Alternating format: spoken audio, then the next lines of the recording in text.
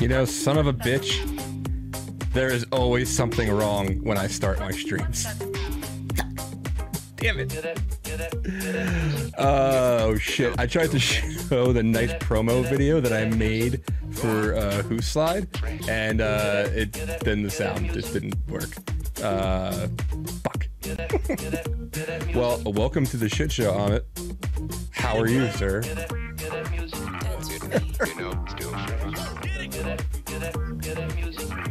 I, dude, I, and I fucking knew that.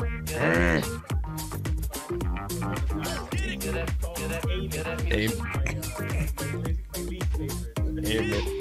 Uh, ignorant American. I am. I kick. So I kicked it off with a. Uh, with a, uh, a, a technical fail, and I kicked it off with a, a, cultural fail. So now we're at two. Let's see how many fails I can do.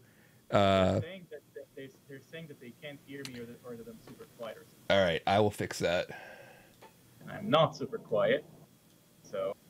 All right. How about now? Say some stuff now. Is it better now? Is it better now? Better. All right. Better. Yay. Yeah, that's because I had to. Uh, I really have to get my audio shit. Uh, uh, yeah, uh, Pepperfish says that you need to turn to turn him, I guess, me on. But well, you know, I'm a married man, so. That that doesn't stop us from being turned on by you. So. Well, the night the night is still young. and you know what? I feel like a real shithead that you actually have to correct me on your name. I feel like I should know it already. Pronounce it one more time for me. Amit. Yeah. Ah, is it? There you go. Is it? Uh, is it Serper? Yes. Ah, that part I got right. Hell yeah. Uh, well, dude, welcome to the show, my friend, and welcome to everybody uh, to another episode of my little slice of the internet, Second Order Chaos. My name is Rando, and I do this every Tuesday, every Thursday. Uh, literally, this is just a vanity exercise uh, for me. I just really enjoy hearing myself talk. Yeah, that's what the that's what you know infosec Twitter is for. Oh yeah. Oh, it's the best thing for my vanity. Are you kidding me? I'm and like I just get to see and hear myself all the goddamn time. Uh, so yeah, dude, welcome. I'm so I'm so excited to have you on. Um, we were talking a little bit uh, before uh, before we went live here, and I, I said my main reason why I have people on here is just people I find interesting. Right? Interesting. Okay. Third, fourth fail is me not pronouncing shit. Maybe that's maybe that's that. Um, Failing is like we, we came here to fail. You know. I'm enough, man. I'm I'm just practicing for uh for the safe mode version of Who Slide, honestly. Which oh, right. you right. Yeah. you competed in last year, did you not? Uh, in Vegas, do you remember? I, I, I, I, you know, I, I was there in body, but not really in spirit. I remember you being there.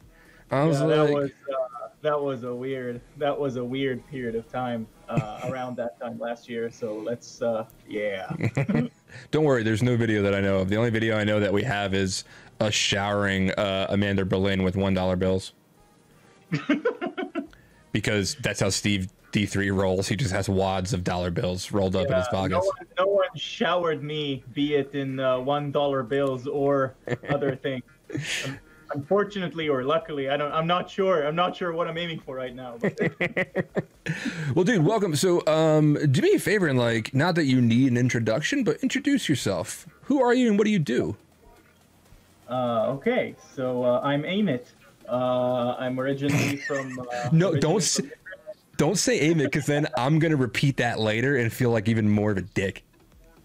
Okay, so it's a. Okay. Um, uh, so I'm I'm, orig- I'm originally from Israel, which is uh, what I always uh, always say the first thing because people don't understand where the weird name comes from, uh, or sometimes people pick on my weird my weird accent, so that that comes out as well sometimes. Uh, yeah, so um, originally from Israel, been living in America for uh, two weeks. Sorry, oh, uh, less than a week shy of uh, of uh, four years. so uh, yeah, so on August second, it would be my fourth anniversary of living in America. I work for uh, a company called Cybereason. I'm the VP of security strategy there, which is a fancy uh, title that just means that I get to work with a lot of awesome people on awesome stuff, I guess. Um, and uh, I used to speak a lot in conferences, and and and I am uh, very uh, vocal uh, as a as a as a shit poster on Twitter. I guess. Yeah. I guess that's me, right? No, no, you are. You you are. Um, I don't think I have you. I have a list on my Twitter of like prolific shit posters, and if you're not on it, that that's going to be a crime. Because uh, no, that's. Pre- you are you are hands down one of the smartest people that I've uh, that I've interacted with. Um, followed for long before we we got friendly with each other. Um, but uh, in a, mostly it's because you're you have a very sharp sense of humor, which I enjoy. oh Um, wow! Yeah, People usually hate it, so hey, at least someone likes it. I have never. First of all, In for the night, I guess. First of all, yes, uh, Zephyr, uh, my, my, my buddy ZephrFish from Scotland. Uh, I don't know why I felt necessary to say he's from Scotland, but he is. Uh, he says ship posting is life. Um, yeah, yeah, I mean, you literally have it in in your bio, which I can respect. So, uh, you said what? Two weeks shy of of, uh, no, of being here. like five five days, something like that. No, not five, three, four days. Four days shy. Four days shy of four years. Um, wait, speak. Uh, I've, I have so many different things now. Speaking of shit posting and things, uh, and speaking of ZephrFish, did you see what he did with uh, with his recent with the recent uh, what was that the the RCE Zephyr or, or whatever that thing was? Um, some some big vulnerability came out. I forget what it was, and he, him and I guess his buddies went out and said we have an we have a functioning POC uh, everybody go download it. And wasn't it just like a Rickroll? Yes, uh, CVE. Oh, that was you? That was him? That oh was, my god, that that's was and what Yeah, I, yeah, I saw that. That was funny. oh my god! And what I didn't admit at the time was I fell for it. I and like I because I tr- you know why? Because I fucking trusted you, you Scott bastard. I uh I was like, oh my boy did it. Like I know that guy. He has a POC for like a, a big CVE that affects my clients. That they literally came to me and was like, "Yo, we need you to do something about this. Like, we're scared." And I shared it in our threat research room at work, thinking it was legitimate and I fell for the whole point of don't just download fucking code from GitHub and run it. so I, I, I had a I had a prank plan for a while, but you know I'm, I'm I'm not gonna do it. So I'm just gonna I'm just gonna share it. I'm gonna open source it, and uh, someone else probably gonna do it. Uh, but I wanted to do something similar, like say, hey, I have a POC for that really rad uh, vulnerability and uh, like a Windows vulnerability, and I just wanted to um, create uh, a, a, a Python a, a Python script that does a lot of nothing, like printing out like stupid shit, and then at the end, it calls uh, the Windows uh, undocumented. Well, it was documented by the uh, by the authors of NotPetya. I think it was not yeah NotPetya. Uh, NtRaiseHardError, which basically just crashes like violently crashes like blue screens the system. It's an API call that its its its sole purpose is to crash the system, and and just have someone just like run it, look at some like you know lead shit printed on their screen, and then boom, like blue screen. I'm like, oh my god, it blue screen. It must have worked. So you know, you would reboot the machine, and run it again, and it'll blue screen again. So like that's that's that's some that's some. Uh, And now, yeah. now there's now, gonna, there's gonna be a tweet from it's everyone's idea now. this is not my idea anymore. Zephyr is literally coding it right now. Um, Yeah. Oh god damn it! I messed up my video too. Jesus, Danny, stop. Uh, anti-raise hard error. Um, Have fun. yeah, uh, um, or like, I mean, honestly, you could just do something as like just have something that just does that runs a, a screen cap video of like a compile, like a make compile or some shit, and just change all the colors, and like people will still think it's doing shit. Um, because like who really understand? Like, eh, well, so I'm not much of a coder. Um, does anybody still do like compile and make install and shit like that for things? Yeah, Okay. like it's a thing. All right, because like I used to, so when I when I first started security and got was getting to know all of this stuff, I thought I would learn more by not just like doing like the simple unzip and things like that or install. I would compile everything from source because I thought it was better, and I would learn more. And it turns out I just caused myself more pain because like who really fucking understands what all that shit is going going in front of you? Yeah, that, that that reminded me. So when I was, so I'm I'm gonna be 34 in a few months, uh, but when I was 13, 13, yeah, 13, um, uh, uh, I I started like really like hacking shit and and and and and, and like I really wanted to know how things work behind the scenes. So I had a friend of mine who was a year older that introduced me to FreeBSD. So it was the first uh, uh, uh, non-Windows like non-DOS or Windows operating system I used when I was 13. So I got FreeBSD, and, and, and with FreeBSD, at least back then, I haven't used uh, FreeBSD in ages. Um, you had to compile everything, and that was also in the days of, of 56k dial-up modems, at least you know in Israel. Well, back then. Uh, and uh, that was a pain. Like I had, uh, what- I had a Pentium 3 450 megahertz, I think. Oh lord. Yeah, that, that's like that's ages ago, and uh, and um, like if you wanted sound support, like sound card support, you had to like recompile the kernel because it was a, a um, Sacrifice a goat. yeah, it was a monolithic kernel, so you had to compile everything, and and, and every every compilation would take like a whole night.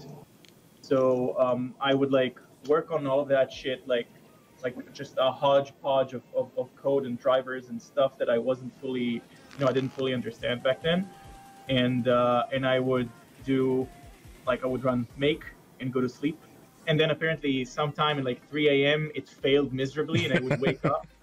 And I would wake up and I was like, oh yeah, I have sound support now. I can play MP3s. And then it would be like, oh, error code one. Fuck you. so then, like, it would take me like, you know, three, four, sometimes a week, three, four days or a week to get sound support.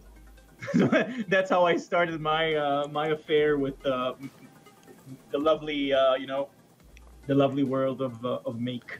Right. I, and I, that's what, um, actually, when I was going through school, which was a, a horribly shitty school, like I didn't go to a regular college like, uh, uh, like we have here. Um, I went to some like technical two year school for like IT and networking. And I thought I was hot shit because they gave you a Linux course that lasted like a month. And if you got your Linux plus, you didn't have to take the final.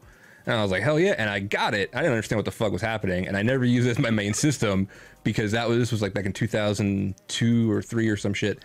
And you would have to li- like just getting any driver to work on anything. I was like, nah, I, I give up. Um, what got you in? What, That was painful back then. dude right like and i was like and I, so people thought i was a goddamn wizard uh because i passed this this examination and it never expires so i think i still have it on my resume Oh, that's great. So you're like fully certified to run stuff on like Linux kernel version 2.4 or Yeah. something. whatever it was eight Right. whatever the kernel was 18 years ago i'm an expert Run um, all of the exploits, all of them. yeah so what what what what drew you to hacking like like what like what was the first time you got your hands on a computer and was like i, I want to make this thing do what i wanted to do So um, I I got my first computer.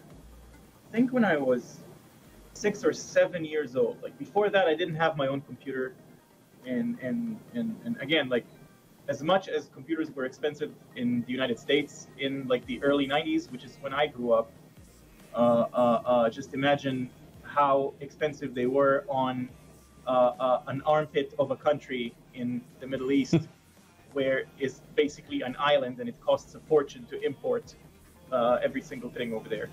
Um, so I didn't have my first computer until I was, I think, I think six, six years old, I think. But before that, I had friends who had computers, and my uncle had an IBM XT, and uh, and and like I remember like uh, when my mom used to go to my uncle's house, I would I would go just to mess around with his computer, which was running DOS, and I would some somehow manage to like run Doom or something, or maybe that was at a later time. I forget. It's been it's been a while, and uh, and and then when I got and when I got my my own computer, my parents bought me my first computer, a, a lovely 386. Um, uh, it came with QBasic, uh, which was uh, an ancient programming language. It came with DOS version five, I think that was. And I didn't know QBasic, but I had a neighbor who was a few years older than me, and he had a book about QBasic. And I borrowed that book from him, and I just started like messing around with, with basic code, and I managed to, to get the computer to do what I want, and it was like, oh my god, that's cool. Uh, and then I got into that. Uh, so I, I, I, tried learning uh, uh, uh to program, uh, but I was too lazy to really like get into it. So I was Amen, like, brother. I'm yeah, I'm gonna leave it for a few years. I'm just gonna do other things with my computer. I'm just gonna play games. and then when um, uh, when I when I uh, when I got you know the the internet because you know you had to get the internet. I didn't I didn't have a, a modem even. And uh, when I got my modem, I was like, oh my god! I like, how can I how can I mess with other people? Like, how can I how can I cause someone else's computer to uh, to blue screen? And by that time, it was Windows 95. Like, it had a, a, a an IP stack built in the operating system. Like, it was more modern and uh, I don't know if you remember those, but remember nukes, WinNukes? No, I think it was a little bit before my time.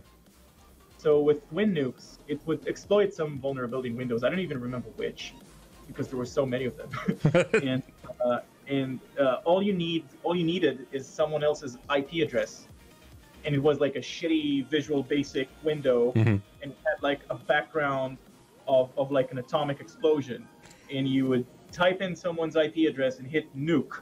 You had like one button, yeah. and there, you know, that machine would blue screen, like over the internet magically. Oh, jeez. And, and when I saw that, I was like, oh my god, like that that blew my mind.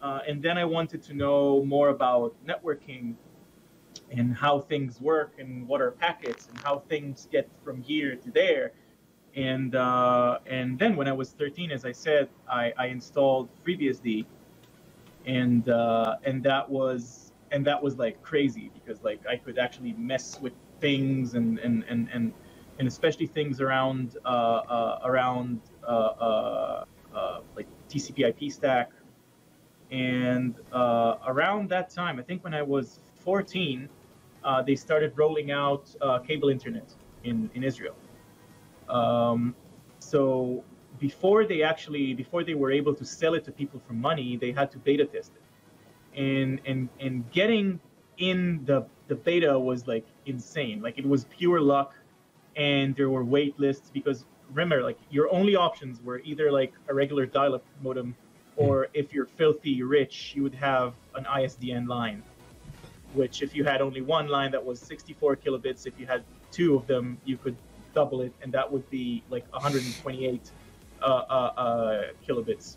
Uh, and then you know suddenly you have cable, which was insane and and uncapped back then because it was for the beta. You would get an uncapped cable connection. Ooh. So somehow I got in the beta. I don't even remember how. I just remember that my mom woke me up one summer. It was in the in the summer holiday, uh, uh, and my mom my mom woke me up and says, uh, "There's someone asking for you on the phone. They're from the cable company." Like, Holy shit! I, I got out of bed and I ran to the phone. They're like, "Yeah, um, uh, we would like to sign you up for a beta. Um, wh- when, when when are you home?" And I'm like, "Always. I'm I'm 14. like, I'm 14 it's the summer. Like, where would I be going?" Um, uh, sounds like a Fed and, trap or uh, something. Hey. Yeah, so they came and, and, and, and, and I got a cable modem, and at that point I was like, wait a minute I have an uncapped cable connection. Everybody else has a 56k modem. I should sell web hosting. So um, so um, so yeah so i actually I, I i i took a bunch of old uh, computers from friends uh, like old pentium ones and i built like a windows server and a linux server and a freebsd server and i and i sold i sold uh, uh, hosting web hosting and like that was 2001 i think and some of those websites were those old php nuke uh, websites and, Mhm. and some like PHP crap like of, of the early 2000s, the beginning of the web 2.0. And uh, uh, and some of those websites started getting hacked, or uh, you know the the the, the MySQL databases uh, would be corrupted by like trolls. I'm like, oh, how did they do that? How did they get there? Right. And and and that's when I really got into it. So I started reading and, and, and experimenting and w- w- where did you get your, your I mean, because this is back, you know, 2001, 2000, like uh, early, early 2000s. Where were you getting your information? Like, where, where were you learning from? Um, the internet. I mean, I um, I, I I had that friend, that one friend, that, and he was like on a league of his own. Uh, I, I we lost touch, but I think he works for Google today. He's like the shit. Mhm. He's a he's a core developer of one of uh, of one of like the like Node.js or something, one of those languages. I think he's a core developer or something. Like the guy is like a, legit genius, and uh, he taught me a little bit uh, about like sockets and how to uh, how to write raw socket code with I think it was TCL back then. Was disgusting language.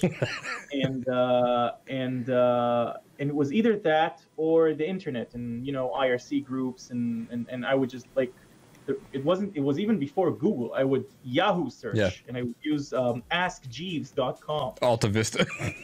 and Alta Vista, yeah, and um, and I, I I did I did those things mainly. I mean, and and, and somehow and, and a lot of it was just like uh, uh, trial and error. Basically, I would install something and then like for example, I would install for someone someone wanted like a forum or something like phpBB or something, and I installed it for him, but.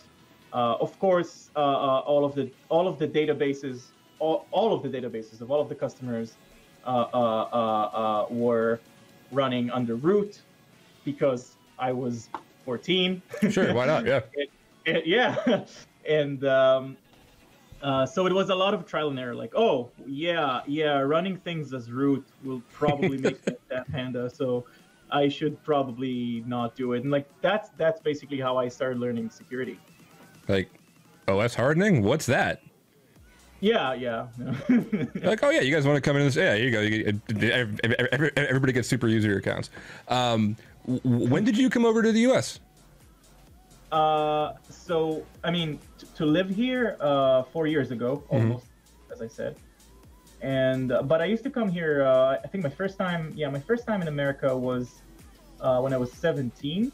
So funny enough, my, my sister actually used to live a mile and a half from where I live today, and uh, and I came to visit her. Uh, so I live right outside of Boston, and uh, uh, I came to visit her for the first time when I was 17 and um, I'm, I'm also a British citizen. My mom is British, and I also Oh. thought that I'm going to end up. Yeah, I always thought I'm, I'm gonna here. I can, I can pull my Jason Bourne trick, like all of my passports. Uh, All right, Yeah. if if you guys are gonna take screenshots, now's the time to do it. there we go, Jason Bourne. so uh, so uh, so I always thought I'm gonna end up in in in London because I really like London and and and I have family there. And uh, and then I came uh, here to Boston for the first time when I was uh, 17, and I just like I fell in love with the place, and I said, if I could ever end up here, hmm I would definitely do that. And um, and uh, when I joined Cybereason uh, almost six years ago, I started in Israel. We're an Israeli company, uh, but um, our HQ is here in Boston. So uh, when the when the CEO and, and the co-founder of Cybereason, which is a good friend of mine, whom I also worked before in the Israeli government, uh, said, "Hey, so um, how would you like to move to Boston?" I was like, "Sign me the fuck, Fuck up." up. and uh, And after my uh, my visa application was rejected for the first time, uh, it yeah it, it got accepted the second time and uh, and yeah and uh, and we've been here as I said for four years and uh, a little over than two years ago uh, we actually became uh, uh, lawful permanent residents or green card holders or immigrants which isn't a popular word today. Uh, so I guess if uh, I don't know if, if there's not going to be a, a, horrible uh, political development which will uh, cause me to be to getting kicked out, I guess I'm here. So yeah. Um, so and and I, I always like asking this question of, of people who or have, have come here relatively recently. Um, what struck you so much about like just either the U.S. or, or Boston in particular versus where you were in Israel? Like, what made you fall in love with it that that hard? So uh, um, it's actually a lot of people don't know that, but um, culturally, Israel is is trying to see itself as like the 51st state. Oh no, like I, a lot of a lot of trends a lot of trends like for example i grew up on american television so like i i watched probably everything that you watched like Mhm. the the channels in israel like you would get all of the american shows like subtitled in hebrew and like that's that these are the shows i grew up on so like almost probably everything you watched i watched too on the other side of the world in english Mhm. uh, and uh, and and you know a lot of the trends and and, and, and, and music and, and culturally like israel is very influenced uh, by the us but there's also like a slight delay so like i think we're just like israel is just getting like jordache jeans no i'm, I'm. Check out this but, uh, swatch. yeah Swatch. oh my wife loves them so, uh, I got snap uh, bracelets for days, bitches. yeah. So um, so when I came here, uh, you know, obviously I speak the language, and um, and and but when I came here, what what what struck me is, you know, Israel is is pretty much a desert with a beach. Like that's what it is. We only have two seasons. Uh, it's summer and holy motherfuck, it's hot summer. Right. They're just seasons that we have, and uh, I don't do well in the heat which is one of the reasons why I like it here so much because you know the winters are miserable. Oh, yeah. like. Yeah, yeah, you gotta be in heaven now. You're like, oh, this is like Yeah, the I- antithesis. The first, I saw, the first time I saw actual snow was, you know, right after I moved here when I was 30. Like that was the first time I ever saw snow. And um, What was and that like for time- you? To uh, actually, I mean, well, I mean, so like, I mean, I, I imagine you saw it on like American uh, TV shows and shit, right? Like you had to, I, I, I, I knew what snow is, right? but I haven't I haven't touched it. I haven't like seen it. So that was that was like crazy. Like the first time it snowed when we were here, uh, like we were living um, uh, we were living in an apartment in our apartment in the city back then, and it snowed and like and, and it, it was insane. Like it was snowing hard. And, and and usually like I don't know why, but around this area like the first snow is usually crazy, like Oh, yeah. insane and um, and like the streets were emptying, and and and and my wife and I, oh my god, let's go walk in the snow. Let's go walk in the snow. and we and we walked in the snow, and it was like magical, and we're so excited, and you know, we're, we're fully grown adults, and um, and uh, and like we we we were so excited, and then on our way back uh, on our way back home, uh, we get into our apartment building, and and you know we're desert people. Sure. We don't know what snow is, right? Right. We've just experienced it for the first time, and my wife had some snow on her boots, and as we walked into the warm uh, building, it melted instantly, and the moment her foot touched the floor, she slipped On, and and broke her arm in like three different places. welcome to Boston, motherfucker. Yes. And and three months and three months into living in America, coming from a situation where in 30 years I've never seen a doctor's bill, like I've never paid a doctor. Oh Like- a Jesus! concept which is completely foreign to me. Uh, no pun intended.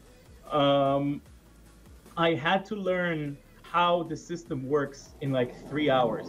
So I sat and read like the insurance policy and and what what it entails, and I got exposed into the lovely uh, world of deductibles and co-pays and oh my god. And uh, and and yeah so now all of my american friends are coming to ask me questions about health insurance. Yeah, i was about to say i am 38 years old. I am from new fucking jersey. I have lived here my entire life. I've never left the us i still don't know how that shit works. Well it's like car insurance but for your body parts. That's, oh that's pretty well, shit I yeah. should have talked to you sooner then. No, like, and it gets even more complicated uh, when I had my son. My son is five years old, and then I got uh, well, I got married, and then the son came. It wasn't like oh shotgun. Um, we were married for at least a year uh, before he I came along. I wasn't even I wasn't even insinuating. really don't know the explanation. well, this is a show. I give explanations. I tell stories, and and so then every single job because I've had the bang up of uh, experience to work at a lot of startups that like to sell themselves, and I have to keep picking new insurance every single fucking job. And I'm like, I don't know, like which one should I should the I the PPO and the fucking like I don't know. It, do I pick one and then my family dies? Like, is this what this is? And I still don't understand all of that. So you yeah, being and, and that's another thing, like that if you change a job, like your entire insurance changes. Like that's another weird thing. Yeah. And and I don't know. I, I don't want to get political. Like I love. Let's. I really enjoy. I enjoy talking about politics, and I love politics, and I watch the news constantly. Yeah. Uh, especially now, but with I think that I think that if there's anything that this whole uh, COVID situation uh, uh showed us is that maybe it's time to change like the system here. Maybe it's time you would think to so. do something. You would think so. It, doesn't make any sense. This is this is crazy. Like it, this is insane. and yet we all, especially in America, have very short memories. So once they finally get a vaccine, give us another year down the road, two years, some asshole is gonna vote no, be like, oh no, everything is fine the way it is, because we forget what happened. Um, do uh, so I, am so curious about the whole snow thing, though. Did it? I, I just have one question about that. Um, did it? Did it feel the way you thought it was going to feel? Like, did it? Like, there was anything surprising so, know, about it? You know what? I just remembered. So here's the thing: in Israel, in in in the northernmost part of the country, there is a mountain that borders with with Lebanon. It's uh, um, it's called the Hermon Mountain.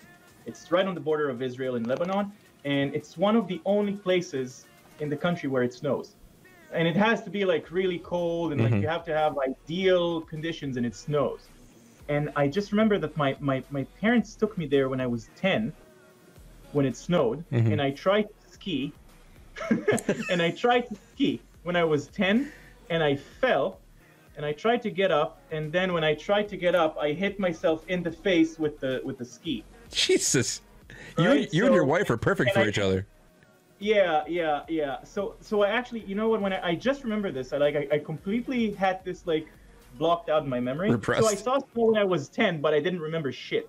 So 20 years later, I saw snow for the first time. Let's say that we, I saw snow for the first time. No, no, fair enough. Uh, it, it felt really weird. Like it felt, it, it, it like, I was wearing like heavy boots, and and it was like, uh, uh, uh, uh, you know, it was like this thick of a pile of snow on the on the pavement, and as I was walking on it, it made this like weird sound and, and, and squishiness that I didn't expect. Yeah. So like I was like, my God, I am 30. Like people live here. Like why do I find it so strange? like, it, it was it was really weird. Like really really weird. Sure yeah no i mean I, I i get that from so i have friends that are live in louisiana like deep deep south louisiana like lafayette and they've never been up north that, so that so they wouldn't know either like they wouldn't know what that what that eh, like it snows maybe like once in you know every three years or something like that and if they've never been in a particular part of louisiana where it does that they got no fucking idea. And even then when it does they get like a dusting, right? Like yeah. just a lit, like they don't know, like their entire state shuts down, and then they they're messaging me going, "We got snow and we saved it in the freezer," and I'm like, "Oh, you guys are fucking adorable." uh, yeah, people in Israel used to do it also. Like they would go all the way north and they would bring like a bunch of snow in like uh, in a cooler, just like to show people, like here, fucking Um, frozen water. here. Uh, Since uh, since being in the U.S., um, have you been back to uh, Israel? yeah, I've been, I've been. Uh, well, you know, when when the world isn't ending, Oh, sure, yeah. uh, I go a few times a year, and you know, obviously, uh, uh, our R and D center is over there in Tel Aviv, which is the city I'm from, and uh, uh, so I, I do go there. Like my entire family is there, uh, uh, so I, I do go there. I was there uh, right before this whole COVID shit show started. Sure. In, December. Um, so yeah, I, I, I go there, and it's uh, it, it's it's miserable because you know it's hot, and then because of the jet lag, because Israel is seven hours uh, seven hours ahead hmm of the coast. So when I get there, I'm like jet lagged for like three or four days. So I always go there for like a minimum of two weeks because I like Yeah, you, you yeah. know you that- that's not out and back. days. No.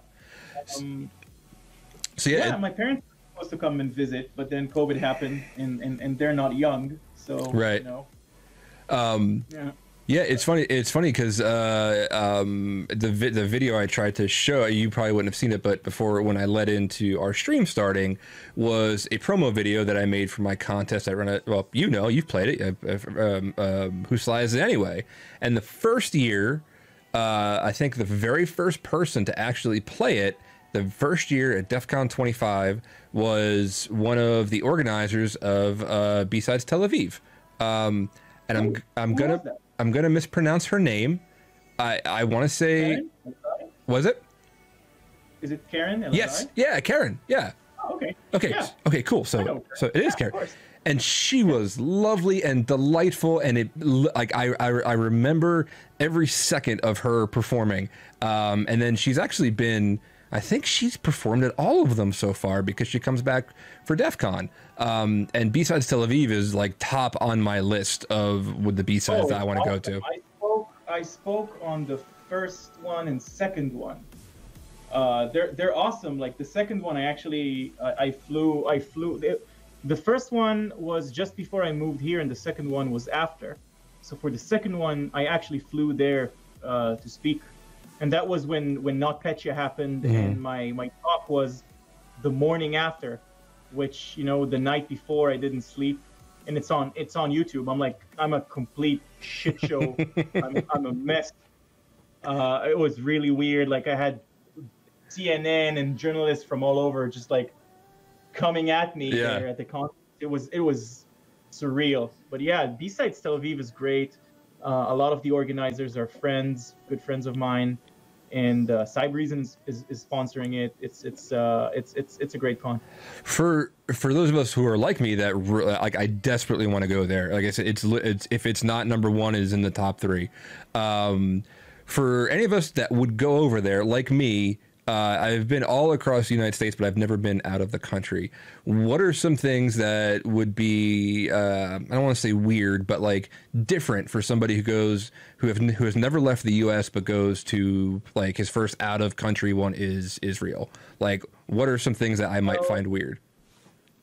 Uh, the food is unbelievable. Yeah. like the food is I I never appreciated so that's gonna sound shitty, but I never appreciated the food there until I moved to America. I Oh, mean, sure. No, absolutely. There's a, lot of, there, there's a lot of great things, like you know, of like there's a lot of things that are much better in America food wise, but um, like in Israel, everything is like fresh and vegetables, and it's um, and and you have so many restaurants, especially in in in Tel Aviv. Like the food is Tel Aviv is one of the best food cities in the world, in my opinion. Like to in for me, it's like you know, it's it's New York, it's London, Tokyo, and Tel Aviv.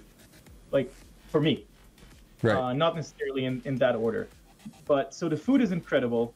Um, but you know how, how people say that New York is like crazy and people are like on edge and like Sure. everything? So Israel is that, but times a million.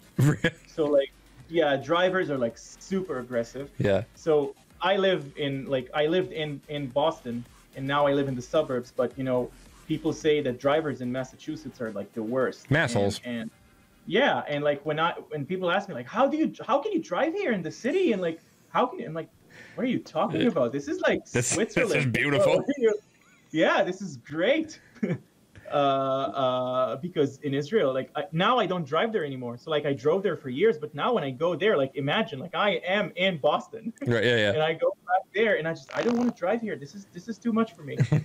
So uh, I was there uh, at, uh, last April. I was there. Uh, one of my best friends, who is actually speaking at DEF CON uh, uh, uh, this year, uh, uh, he got married, and I went there to be his best man, and I and I and I, I, I drove him around, like I chauffeured him around in, in the day of his wedding, and and, and, and his bachelor party and everything, and and you know when we got when we got to the venue, and I gave him because I was driving his brother's car, I gave him the keys, and I was like, I am never driving in this country again.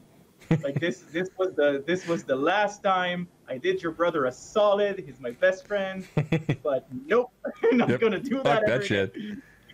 Um, So so yeah, and people are like always on edge because you know there's a war every five minutes. right. So uh, it's it's it's it's it's if you're not from there, it's very different. But it's also cool because people are like very relaxed and very you know nothing is like official and people are laid back and chill. So that's that's another thing. Um, you you had mentioned that uh, you know you you had grown up watching you know American television and and that uh, and that uh, that that's how Israel is trying to fashion itself. So are they? Do they like? I I always want to ask this from somebody who's not from here. Do they like us? like if an American goes there? Yeah, yeah, Okay. yeah, yeah, yeah. Like the weirdest, you'll see the weirdest thing. So like on, on Israeli Independence Day, like think about it. Like it's the equivalent of the Fourth of July here. Mhm. You'll see many people. So like almost everyone puts like the Israeli flag on their car on Independence Day, but you'll see a lot of people putting like the Israeli flag on one side and the American flag on the other Oh which is really weird. Yeah, yeah. Is, is Israelis are like America is like you know the model of perfection and like uh, oh wow you're American so cool. Oh honey. Uh, yeah, it's like it's it's it's it's a thing, and you have a lot of you know Americans, uh, you know American Jews that moved from America to Israel. So there's a lot of that culture that they're bringing. So it's it's it's it's uh, Israel is is although it's on the other side of the world, it is very attached to America. Like you watch the evening news, and you will see like things that are happening in like Missouri, like in the evening news of right. Israel Yeah. where we have like I don't know, uh, uh, uh, uh, uh, fight on this border, Yeah, and yeah. a clash on the other one, and rockets falling on our houses and stuff. But no, we have to know what happened in Missouri. Like Right. it's really weird. Yeah. Like like there like some some some some Wendy's in the middle of Missouri burnt down and now it's on the Tel Aviv news. Yeah, it, it's it's it's that. It's exactly that. It's really strange. It's really strange. Well, yeah, man. I mean, and and that and that just really drives home that like the world is so super small now, whereas opposed to like before, uh, you know, when, I was younger and like all you had was the BBSs and IRC and things like that, and everything felt so far away. Um, now it seems like everything is at at like the like the tips of your fingers, and and and you can reach out like now I know you, somebody from Tel Aviv, and Karen I know, and I know somebody from Switzerland and Norway, just because of things like DEF CON, which is one of the awesome, like, which is why it hurts this year that it that you know that that we can't Yeah. go there. Um, how do you? Uh, going back to security for, for, for just a little bit, like I could no, actually no, fuck security for a second. Talk about trying new things. Like fuck all that. Uh, we could talk about that any other time. Um, trying new things. We talked about snow. Uh, my favorite. I don't think I'm ever gonna change it. The banner on my Twitter is you from a video I saw trying a deep fried Oreo. The Oreos, right? With Yes. the Oreos. Yes. Yeah, that was like a couple of weeks ago. We- like your reaction was just so pure. um, who? Yeah, because I always heard about it, right? And and and you know, it, it's it's one of those things. Like I've been living, as I said, I've been, I've been here for four years. Right. I've been here many times before.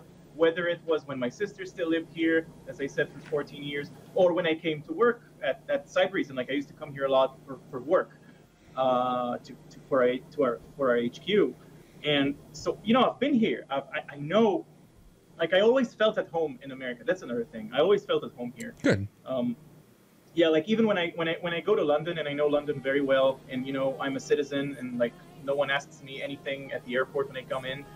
Um, I still feel at home here rather than there, and it it was always that way. But I only got a Costco membership uh, like when the pandemic started. Oh. it's, it's those things like it's like an American staple you have to go to and you have to to be a member of.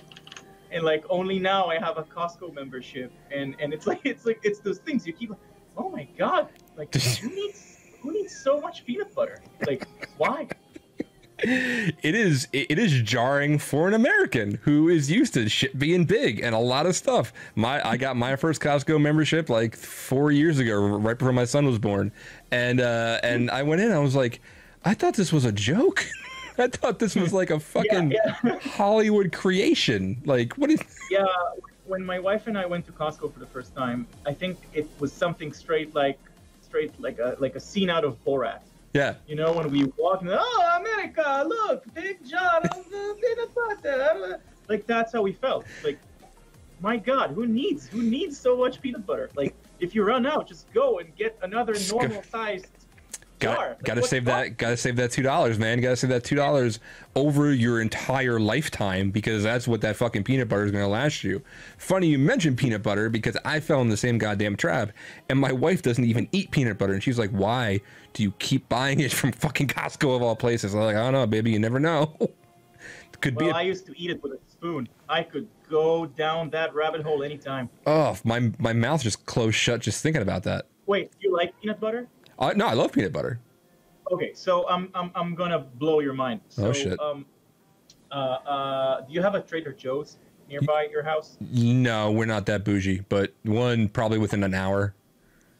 Oh, within an hour. Yeah. Well, you have Amazon. So uh, there is an Israeli snack. So here's the thing: a lot of Americans are allergic to peanuts, right? It's a thing here. Yeah. I've never heard of a peanut allergy until I came to visit my uh, my sister. Uh, uh, uh, many years ago. And um, there, in Israel, no one is allergic to peanuts because one of the first snacks that kids, like even babies, eat, um, it sort of looked like cheesy puffs, but it's peanut butter. Okay. And it's so good. It's called Bamba, B A M B A. Okay. And it's it's it's genius, and it has this stupid name. It doesn't have any meaning, but it it's it they they called it in this name because it's easy for babies to say, Bamba. Mm-hmm. So I'm gonna look uh, it up right now. Bamba. Yeah, every Israeli like, dude, this is like crack. Like this is so good. Every Israeli kid like oh, it's, up on those. It's literally got a picture of a baby on it. Yep. and it's so good. And and Trader Joe's actually are importing it like under their own brand and packaging, but it's like legit made in Israel. Like, well, fuck. That's like fuck Trader Joe's because my local Target has them. Well, there you go. Okay. Trader well, Joe send, sells them like a big bag is like uh like sixty cents or something, which is cheaper than Israel where it's made. I'm gonna go get these first thing tomorrow. Like, if my show wasn't so late at night, I would fucking go right now and go get them. Uh, Dude, all right, save an for later. Is, those things, like I stopped eating them because my like my cholesterol went off the charts. Mm-hmm but like I, it, it's so good. Like I could devour those. Jesus, I just oh. I, I, just posted a giant ass URL in there. Um, yeah. Don't worry, it's safe. Um, and normally, like we have URLs. Like honestly, I, I think we still have URLs uh, not allowed by chat members. But really, I should not be allowed because I'm the one that's going to post something like a fucking ZephrFish exploit. Um, uh, well, shit, man. Um, so okay, now we can go back to security for a little bit. But god damn, I want to try these peanut butter puff things now. Um, so uh, VP of Security Strategy at Cybereason. Yeah. Um, how did you get? You're what? You, you said you're 34, right? Yeah. Okay. How? Shit. How did that like? How did you get that? like, what was your career trajectory to to get there? Like uh, like when and when and how did you enter and to to make to get to where you are now? I'm fascinated by that. Um, so uh, in Israel, uh, military service is mandatory mm-hmm. Because there's a war every other day. Sure. And uh, and uh, and uh, when you're 18, uh, you're drafted for a mandatory service of I think they shortened it now, but in my time it was uh, three years. Mhm. I think it's a little bit less now, like two years, eight months or something. I think. And um, what they do is basically, um, when you're about 17, you get like the, the the drafting letter, and you need to come in for a bunch of tests, where they test your like intelligence and and and and, and all sorts of things. And then they decide whether you are going to uh, do combat stuff like shoot guns or uh, you're going to do other things like whether you're going to be like logistic stuff like i don't know driving a truck or or or or, or you know doing doing stuff which don't necessarily involve shooting guns um, and if you have background uh, uh, in computers which you know i had um, you have all sorts of uh, intelligence uh, units that will pretty much pick you up and put you like under ridiculous amounts of tests and exams and, and, and, and like really weird shit. And that will decide where you are going to be spending the next three years of your life Hmm. doing work and not getting paid. um, Yay, so, military. Uh, yeah.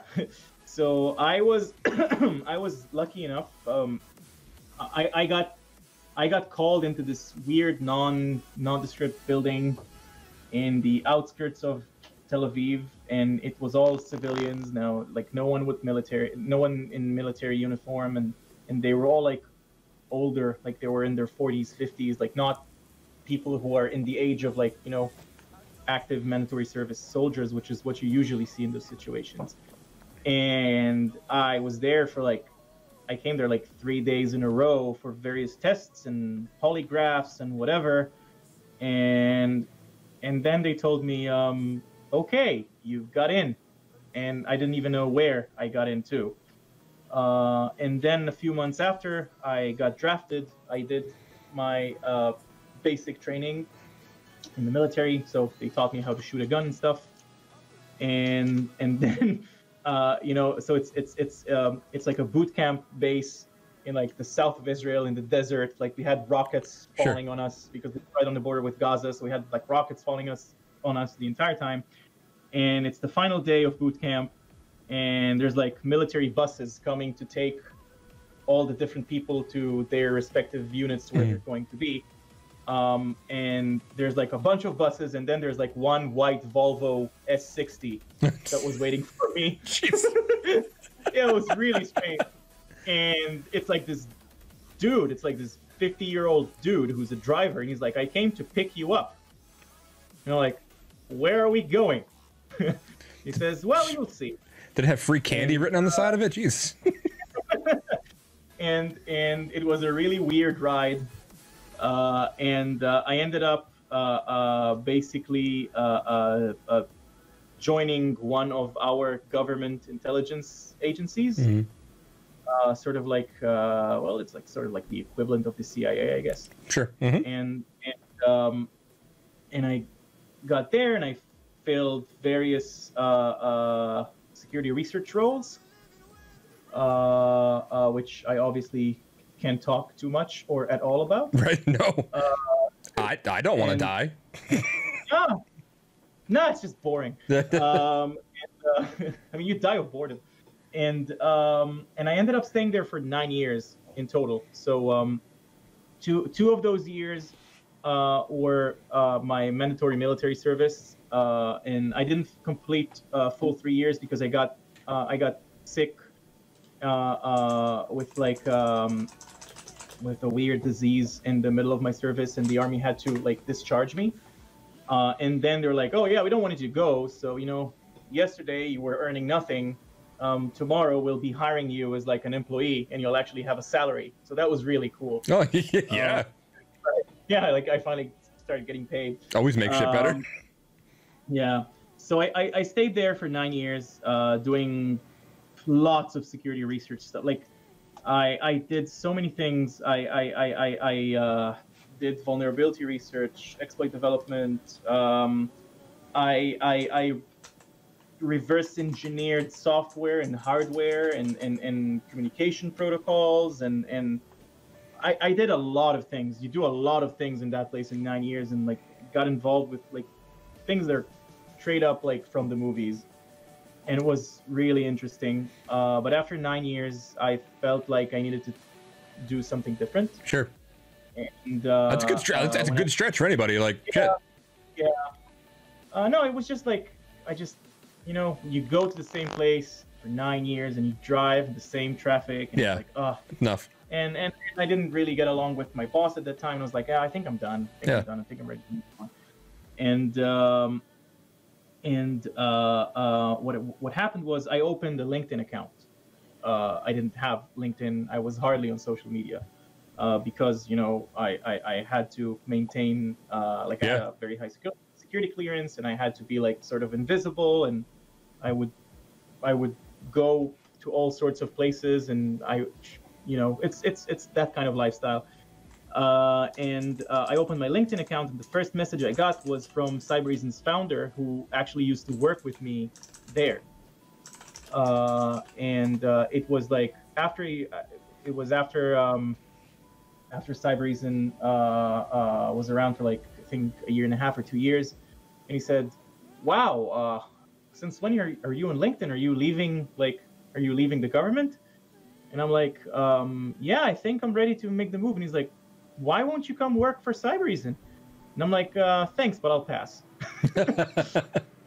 Uh, so eventually he managed to convince me to come in for an interview and I and I came in for an interview and and, and I saw what was then a very early uh, uh, uh, version of, of the product and I was like uh, and, and I came from the world of like from the world of, of Linux and, and BSD as I said and, and, and, and exploit development for these systems and like totally not uh, uh, uh, with what Cybereason back then with what totally what wasn't with what Cybereason did back then which was mostly Windows Mhm. and said, yeah, you know what, we're going to hire you and you're going to build out like our Linux research and do that kind of things. I said, okay, but in the meantime, you'll have to learn some some Windows stuff. So I joined in, I joined as a senior security researcher and with with like zero knowledge in in, in, in Windows whatsoever, and I started uh, like and, and and I was sitting in a room with like really two of the best security researchers I've ever met. The two of them still work at Cybereason. They were the first like literally employee number zero and one Mhm. of the company. Uh, two very good friends of mine. Uh, uh, and I was just, you know, sitting with them in the room and like learning so much. And, and, and I was in, in the company when it was like super small. It was just like 15 of us. There's always, there's over, I think there's around 700 of us today worldwide, like all over the world. Um, and oh, back then it was just like 15 people in like a shitty office in Tel Aviv and uh, and I, I learned a lot. And then you know when the opportunity uh, when the opportunity came to move to Boston, uh, by then I had already led um, uh, our uh, Linux and, and Mac security research, and I moved to Boston, uh, and I sort of started doing like public facing research like i would do a lot of blogs and, Mhm. and, and, and i speak at a lot of conferences and suddenly i had like the ability to talk about my work and and and and and, and, and share stuff which i always like i really like i enjoy uh, sharing and, and, and my knowledge and, and, and teaching other people and learning and being a part of this thing so and finally i could do it because before that you know in my old work i could not so um, I became like really out there. Um, and then I, I, I sat uh, for a conversation with our CEO and I said, you know, we need to um, we need to have like a research, um, uh, like a brand, like a separate brand, and we need to have like a research team that works solely on like you know threat intelligence and malware analysis and writing reports for our customers. Some of them should be blog posts, presenting at conferences, all of those things. Like we need to do it. And uh, and he said, well, uh, do it.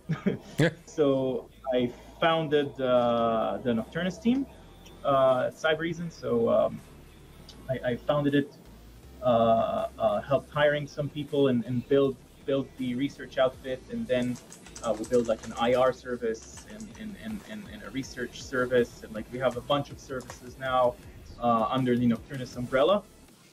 And uh, at that point, I was like, you know, senior director of something. Yeah. It's, it's a startup, so you know everybody. Sure. Yeah. Everybody's got a yeah.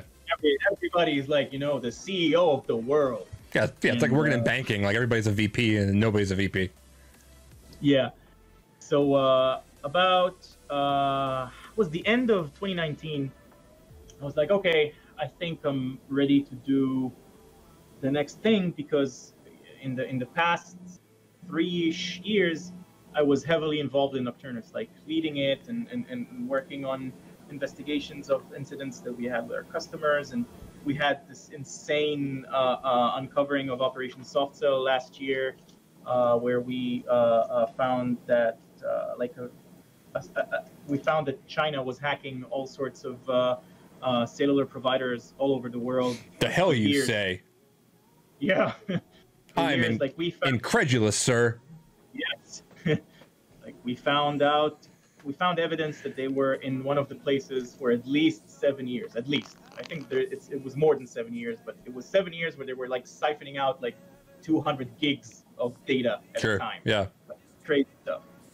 Um, It's probably over DNS. but after that, after that, after that blew up, and you know, I had my, my fair share of, of being in the spotlight, which honestly I don't really like. I discovered that. So after NotPetya happened, uh, like in like uh, one one night, I was like all over, and like I had journalists interviewing me, and Sure. like I gained like ten thousand new followers on Twitter, and it was just insane. Like my phone wouldn't stop ringing, and and Andy Greenberg uh, wrote the Sandworm book, and there's like half a chapter just talks about me there. It's like it's really weird.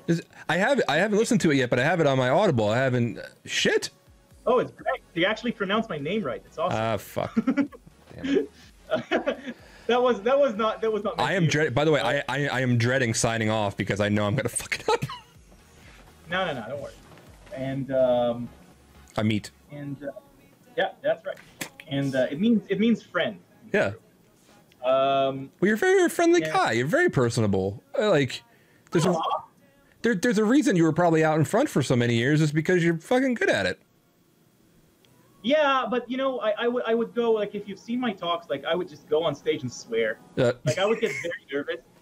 Like I I, That's I my would I would get very very nervous, and I have no like I don't have any stage fright. Like you can see behind me, like I I played I play music. I played in bands. Like I I, I played shows in front of three thousand people. Like I'm not I'm not shy, but you know, being on stage when you have so many people just looking at at at something you worked on for so long, like oh my god, I'm gonna fuck it up. I'm gonna fuck it up. I'm gonna fuck it up. Uh, so I just get nervous and I start swearing. So all of my all of my slides or all of my talks actually, if you find them on YouTube, it's just me like swearing. Yeah. And then you do this shit. Then Yeah. oh fuck that. Like, that's this fucking fire. thing over here. No, mine too. Yeah, yeah, Yeah. yeah. I am. Uh, I. So, uh, I am I am wholly uh, uh, shocked that when I do company based things and training videos and uh, and and like I actually do a I do a version of this stream for Gigamon uh, branded for them and I am shocked when I can get through an entire episode and not have to edit out something I say. Yeah. So when I when I spoke at uh, I spoke at Virus Bulletin a couple of times, and and and uh, uh, uh, Martin, who was uh, he's not there anymore, but he used to run Virus Bulletin basically. He would always ask me like, "Hey, you know, I love your stuff, and, and your research is awesome, and you're such a nice guy. Yep. But can you, can you make it more family appropriate?" Stop it. I'm like, okay, yeah, I'll do my best. And then I think it was Montreal two years ago. I spoke at, at Virus Bulletin and I and I talked about some adware I found and I found like the company behind the adware and the people behind the adware and everything. And uh, and then at the end and like right at the end, like two people approached the station like, "Hi, uh, we're from that company." Ah, and I just went and I just went through the microphone. Oh fuck me! and like every, everyone just laughed. uh, you yeah, almost made so, it. yeah. So I did those things. I did those things, but then I was like, okay, you know, like I love I love doing this thing, but I feel like I want to go back to like working on the product Sure. and and and, and you know get made getting the product better working more with r&d with our r&d with with with you know just being a part i really enjoyed being a part of building building the product and i felt like you know i've, I've been building i've been helping building the brand because we can all talk about, you know, all of these companies, whether it's Cybereason or Kaspersky or any security company that has this shtick of a separate security brand. So like Kaspersky has Great, Mm-hmm. Palo Alto 42, and we have Nocturnus, and Checkpoint has Checkpoint Research. Like all the companies have this. And and the end of the day, it's cool, and and you know it's cool to see people presenting research, and it's cool to see smart people write blogs. But at the end of the day, it's a tool for marketing and and and it's it's I call it like marketing without marketing. It, it is what it is. Like you can't you can't deny it. Sure. And I felt like after three years of being heavily involved with like pretty much marketing, like you know building the brand and and, and, and, training and training new people and helping building our service organization, it was like ah I need to go back to like do some like R and D work. Like I missed that. Right. So um, that's that's that's what I'm working on now. I'm, I'm, I'm actually, I'm I'm also uh, I stepped down. I asked to step down uh, from running Nocturnus, so I'm no longer running it. Um, and uh, and uh, I think that pretty soon I'll be completely uh, uh, out of Nocturnus, and I will transition uh, transition back into um, into working on like our product and and, and, new products and, and and and like you know helping building the the, the, the the product again as opposed to like being more involved in outward facing stuff like I, I'm, I'm still i'll still do it but not as much Right. I'll tell you what. One of the things that uh, that I, I still kick myself over uh, of not pursuing is I was in between jobs at one point because surprise, Mandiant laid me off for a second time. Um, so, but I, I by that point I, I had I knew quite a few more people and I had a lot more options and I was taking a lot of interviews. I think I had like four interviews a day for a month straight, and it was a very good position to be in. And one of those spots that I was interviewing for was at Cybereason, but I had never. oh no way Yeah, but I had never heard of them because I had that uh, I do I don't remember. This is like four years ago by this point, almost three or four years ago. oh wow Four Yeah. years ago yeah that's a completely different company Yeah. Uh, well, and that's the thing. Like I had been sequestered uh, uh, in. Uh, so before that, I was at uh, I was in GE, which is a giant machine, and then I went back to work for Mandiant, which is very service oriented. So you're selling your, their services and things like that. Um, so when I finally got back into the job market. I wasn't aware of things like FusionX. I wasn't aware of things like Cybereason and Sqrrl and, and these types of places, and so I didn't know. I didn't, and I didn't take them as seriously back then uh, because it, it really did sound like you know very startupy, schmarmy. Like I don't fucking know what you do, and you, and literally every vendor I talked to, because it was like the threat hunting type space and and and and research and things like that. They all sounded the same. Every same. Jesus, every job that I talked to in in that sphere, they all had the same pitch about machine learning, AI, and this, that, and the other thing. And I was like, at a certain point, I didn't remember who I had talked to because they all fucking and and I was like, well, I, I don't know them, and I, I never pursued a second round or whatever. And damn, dude, like fast forward, I really wish I had now because uh, because I, I I admire you guys very much. I think that if you would have joined four years ago, you wouldn't have stayed. No, really, yeah. Like, you think- be- be honest, it's it's one of the one of the insane things about Cybereason is that it it it changes like on like a, a monthly basis Mhm. because we're growing. Like as I said, when I joined six years ago, it was 15 people. Uh, when I moved to the U.S. four years ago, we were 100 people Mhm. or 80 people. Now we're 700 Right. That's great. So- That's crazy. yeah, everything changes. Yeah. You know, every time we had another round of funding, the, the company changes. So so so I and, and, and four years ago, I honestly like it's one of the things I, I was very I, I, I'm very open with, with, with our CEO. Like I like four years ago I wouldn't have recommended people to come work for us. honestly. What? Yeah, yeah. Yeah. I mean it's it- not often you would hear somebody say like I personally would say that, be like, no, we fucking sucked earlier, but now we're cool. Uh, no, that's that's Yeah, no, refreshing to it's- hear. Now it's, now it's awesome, but the, the the place that we were there, like, again, it's it's it's and, and you said it, you hit the nail on the head. Every company sounds the same, and and when you have, you know, back then, like four years ago, we had like I want to say like eight competitors, and and all of them basically do the same thing. Like we all do the same thing, but with a different twist. Hmm at least that's how it was back then. And and it forces it forces companies to just constantly to, to be like reactive. Like nothing is proactive. Like oh Right. this company did that. We need to do that. Oh they did that. We need to do that too. So the whole market was like that. Not only us. I believe that other companies other similar companies with the similar size and growth metrics that we've had which are kind of insane like there there aren't many companies with growth uh, metrics as we have uh, but companies in similar situations in the field would have been probably a nightmare to work at as well. So, all in all, four years later, did, I think you did the right choice. uh, well, yeah, like I said, now I, I hear from, and it's it's very much as a lot of us I think function word of mouth, and like if something's bullshit, we know somebody who's there who's like, yeah, yeah, yeah, Yeah. it's bullshit. Um, but people who I trust, uh, whose opinions I trust, have nothing but great things to say, and I and I have to say. Of all the great work that you do, the the thing I sing praises of most of all is the one time I was I was on a panel at this golf club in New Jersey of there was it was like the CISO luncheon and they had asked Gigamon like, "Hey, you got somebody that wants to come speak?" And I was like, "I don't know about CISO shit, but I'll make something up." So I got so I was there and Cybereason was there. I forget who who was there. Um but uh they gave me socks. I was like, "Oh, these look Oh, and yeah. they are the most comfortable goddamn socks." Like I have like 20 of them. Jesus. By the They're way, great, really good. Dave Kennedy, who's a friend of mine, Dave, get your shit together because TrustedSec ain't got shit on Cybereason when it comes to socks. Funny, I just took off like before this thing. I just took off my trusted sec uh, socks. No, they they're nice. I get it. Dave likes his socks. Cybereason, I love. Like I need more pairs because I've worn them so much. Like they're pretty much dead by this point. yeah, Uh, like we're a pretty shit security company, but we rocket socks. That's all we want is swag. God damn it! I just want somebody to make like sweatpants.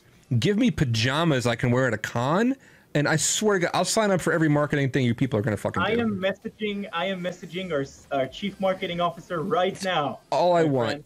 Give me either a PJ set or some nice sweats that I can rock up, and I, I will sit through every goddamn demo you want me to. I promise. Done. I will. I will. I'm, I promise to keep you updated on this. I promise. You have my word. Um, dude, I could talk to you fucking all night. I swear to God. But um, I don't want to do too much of a good thing because I want to have you back and talk about other things a different time. What I want to leave with is. Uh, what advice and I, I like asking smart people this question what advice would you have because I tend to have a lot of followers and, and, and, and watchers of the show that are new or in between gigs or trying to get into industry and or not even industry they they just want to be hackers right? And and, and they want to learn shit. What what do you say to to people who are just coming up? And it doesn't have to be like a young person like I I didn't I didn't get into hacking until I was in my 30s right? I'm almost 40 now.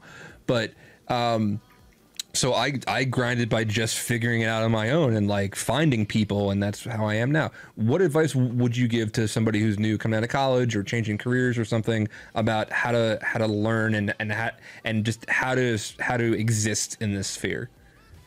So it's it's a good question, and um, I can tell you that you know where I'm where I'm from. If you're talking about the states, it's very different where I'm from because where I'm from, you have a lot of people that's that that gained their experience in the military. Mhm. So you'll have like you have people 21 years old finishing their mandatory three years if they haven't signed for more. Uh, so they're leaving in 21 with three years of insane experience. So a lot of those people, you know, on their 21st birthday, they have reverse engineered, they hacked, they they they can read and write assembly and C++ and like you know all of those languages. Where in the U.S. it's very different uh, because you know you don't have this this this part where you finish high school and you go to the military, um, and then you have people coming out of college very confused because they teach. I, I so I didn't go to like I don't have a degree. I didn't graduate high school, so like all of these concepts are, are very strange for me. I learned everything by myself. But you know, talking to people and, and obviously I know I know the market and I know how things uh, go. You have people like coming out of college and they're like, oh my god, I learned like programming and I learned Java and I learned like all sorts of weird concepts in math and how do i apply this to security? Like i want to hack shit. Like there's good money in security. I want to work in security. And and and the the the the, the, the the world we live in today with regards to everything but like let's talk about security it's a blessing and a curse because you know when you and i uh, uh, were growing up we didn't have youtube we didn't have i didn't have the internet up until i was like 14 13 Same. Yeah. so like yeah uh, uh, uh, so and you know when, when i had the internet it was very different than what it is today uh, you didn't have access to all of this uh, content so um, when people today want to get into security there is it's like a giant fire hose of crap that just washes you with information and there's so much and, and, and it's kind of hard to deal with like when i talk to uh, uh, uh, I, I try to do some mentoring on on, on uh, the, the the free time that I have between making music and and, and, and, and, working at Cybereason and uh, trying to maintain a family life. Okay. Um, and and I always tell people like you first need to understand what it is that interests you because saying security or hacking or research it's too broad. yeah. Like some people really want to focus on web. Some people like web security. Some people want to focus on hardware hacking. Some people want to focus on malware analysis. Some people want to do exploit development for uh, iPhones. Like there's so much things, there's so much stuff, and and all of those things they're very different. Like web security, a lot of it is very different from you know malware reverse engineering or or or um, or, or exploit development for uh, something that's not web based. So uh, it's it's different. It's different concepts. It's It's different programming language. It's different paradigms of thinking. So I would I would advise these people to first talk to someone that does it. Like I have no problem. Like my DMs on Twitter are not open because people are crazy. Oh yeah. Uh, yeah. Yeah, like I'm I, I got like violent threats for some reason. I don't know why. Um, but uh, so my DMs are closed, but I'm always uh, I, I try to be responsive if people like at me and ask questions. So I I, I have no problem uh, uh, helping if I can. Uh, uh, so I always say, first, you need to understand what it is that that you're interested in. Like as I said, uh, web or or or or, or uh, iOS security or whatever. But find first of all find what it is that interests you, and if you can't decide, there's YouTube. There's so much information, so many talks from from from DEF CON and Black Hat and all of the other conferences. You can watch me swear uh, on I, stage. I cannot wait to go find these videos. Like like I, I Oh, look, look for my look for my talk at DerbyCon about the exploits I found in web cameras. It's called uh, Peekaboo I Own You. Look for that at, from DerbyCon a few years ago. My like I was like, oh, I'm an atheist. I don't believe in demo gods, and my demo like blew up, uh, like it didn't work, and I was like fixing it in the middle of the talk. Like it was madness, and I was sweating profusely and swearing throughout the whole thing.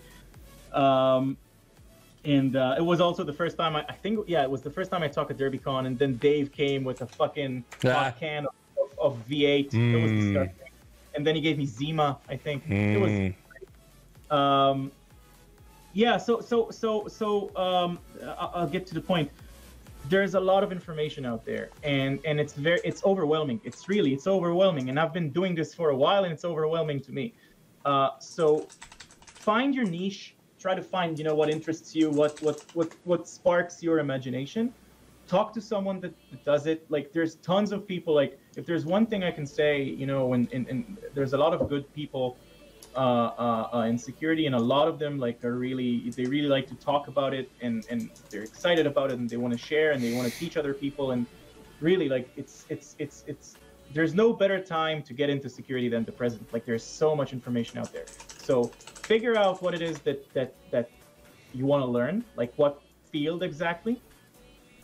Uh, talk to someone that could give you pointers someone experienced that can help you and just work on learning it like you have things like you have challenges like uh, hack the box and all of those things like a lot of programs where you can you can actually get practical experience on hacking things and and learning how to think uh, uh, creatively. I like to say that you, you you don't need to learn how to think outside of the box. You need to just throw the box outside the window and ignore it. Like that's that's. Uh, I had a meeting with our research team yesterday, and and and you know we were trying to figure something with the Linux kernel, and then I said, you know what, we're thinking, you know, th- let's not think outside the box. Let's throw the box altogether out the window. Yeah, fuck the box. and- and- yeah, fuck the box. That should be. That should. Be, oh no, that actually sounds like a porn site or something. Like, I want Well- to like hack the box, but that sounds like No, porn. no, I was gonna say, w- w- w- if it's not already a thing, we should start fuck the box. well, I, I just hope you won't get a cease and desist from from them from Hack the Box. oh, come at me, bros. um, yeah, so I, I- really think like there's so much uh, uh, there's so much uh, uh, there's so much information out there on the internet and so many people who are writing blogs and tutorials and, and YouTube videos.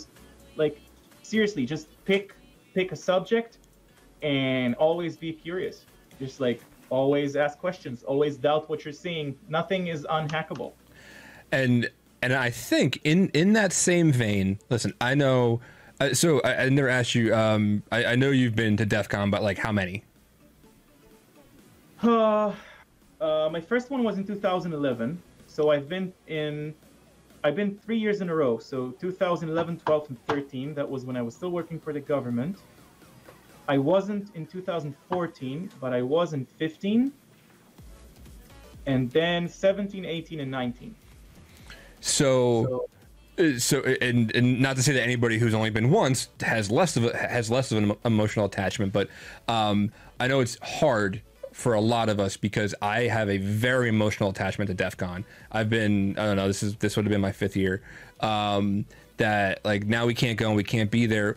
However, in the same spirit as everything you just talked about, it is free this year. We can't be there. It's safe mode. So if you want to learn, and, and you had just mentioned it, hardware hacking.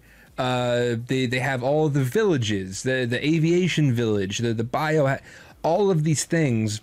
if you're talking about hardware hacking this year at DEF CON, I, as I said, uh, my, my, my, one of my closest friends, he's my oldest friend. We're, we're friends since kindergarten. His name is uh, Gal Zror. He's from Israel. Uh, he has, he's going to have an amazing talk, which is uh, part two of his talk that he gave at uh, uh, Chaos Computer Club in Germany a few months ago. Mhm. He, uh, he, so other than the fact that we were friends since kindergarten, we also used to work together in my previous job doing hacking and he found I don't know how many, like over 10 or 15 vulnerabilities in um, uh, uh, Ruckus products, Mhm. uh, Wi-Fi products. So like he basically found like arbitrary code execution, remote code execution on pretty much their entire product line, and he's going to talk about that uh, on this year's DEF CON, and it's going to be an insane talk Yeah, and, and, and check out his first one from from CCC from a few months ago. Like it's hardware hacking, it's software hacking, it has everything. It's really cool.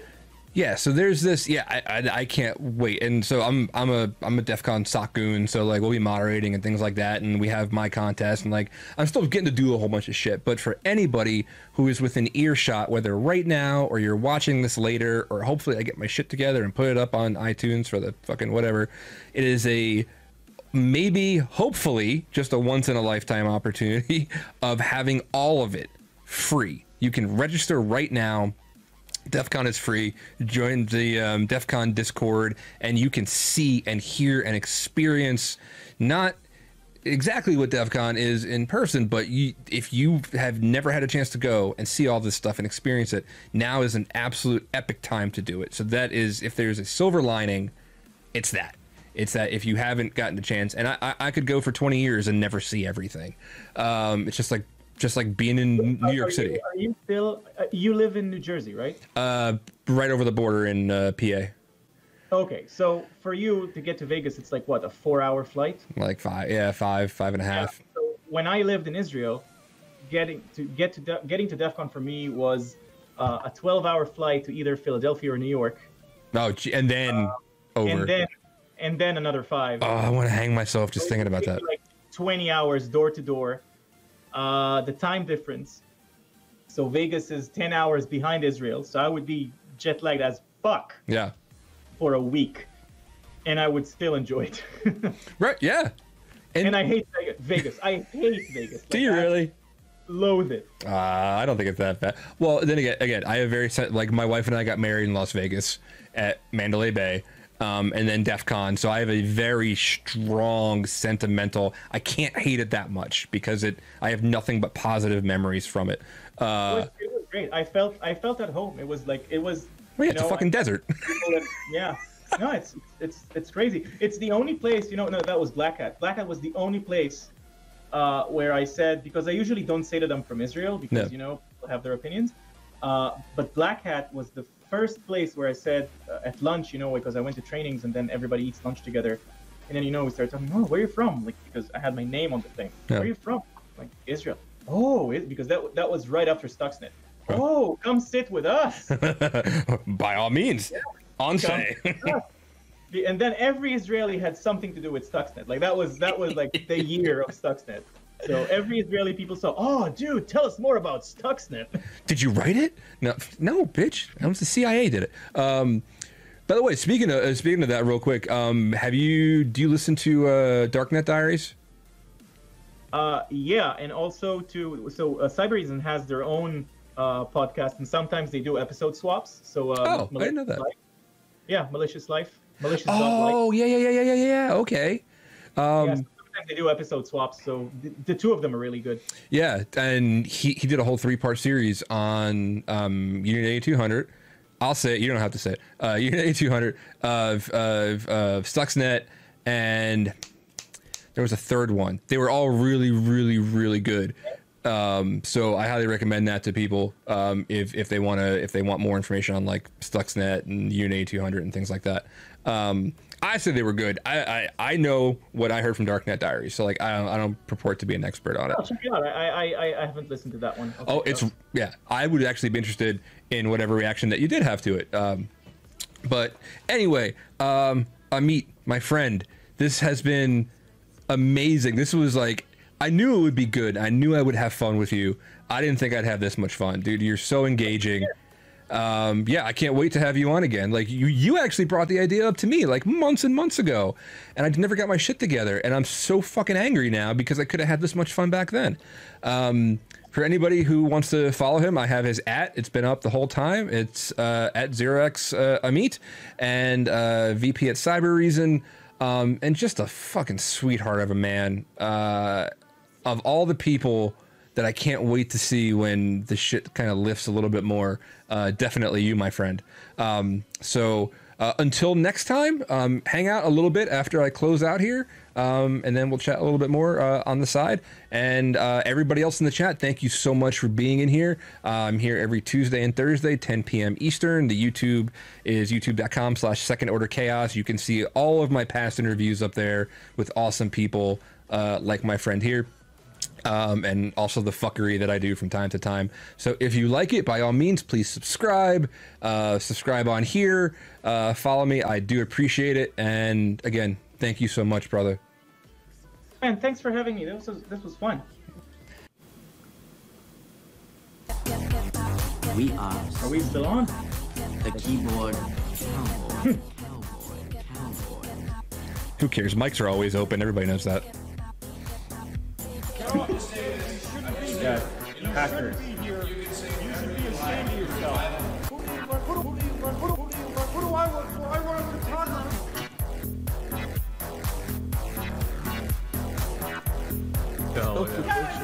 How many ill-adjusted toddlers are out there? They're leaning to one side. It's like the running joke that I keep my mics cracked.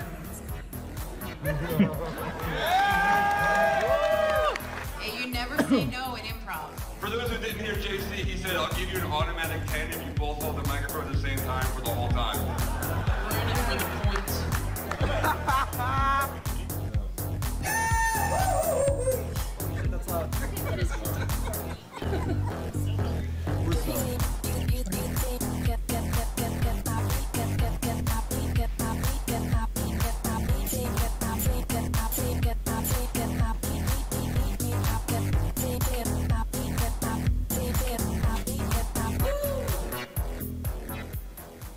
Get off the stage. You shouldn't be here. I got my move. Hey, you never say no in improv.